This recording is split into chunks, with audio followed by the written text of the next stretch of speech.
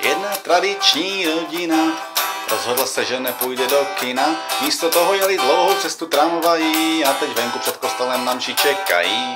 Tradiční misály dali dohromady, v kostele si sedli do první řady. Tradiční táto řek nejsme líní jak vši a budem dneska hezky krčet po celou mši.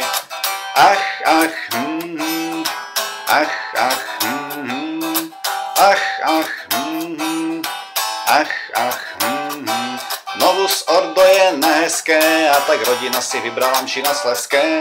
Těšili se, jak bude důstojno, jenže za chvíli se jim dělalo nevolno.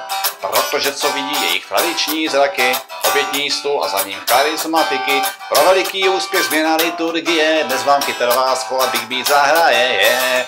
Ach, ach, je, ach, ach, je, ach, ach, je, ach, ach, je.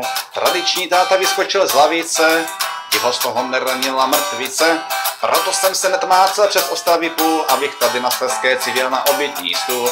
Tady novus doma novus, všude jenom, kde si mám zaspívat Kyrie eleison. Nedivte se té tradiční rodině, že odešla ještě v té samé hodině, je. Ach, ach, je, ach, ach, je, ach, ach, je, ach, ach, je. Všichni říkali, to byl hnus, ode dneška nechodíme na novou svách lách.